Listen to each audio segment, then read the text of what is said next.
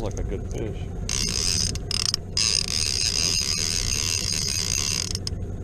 I hooked up on his on the little ultralight. Try to hold it so you can see the rod.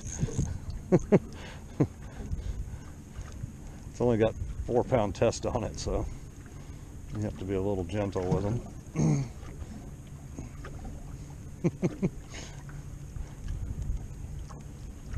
Woo, that's a halfway decent rock bass. Look at that.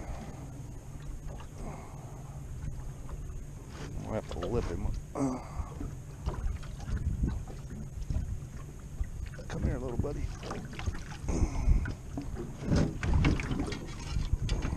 I think he's done this before. yeah, check him out. These are so pretty. They got the coolest eyes. Nice black on his fins.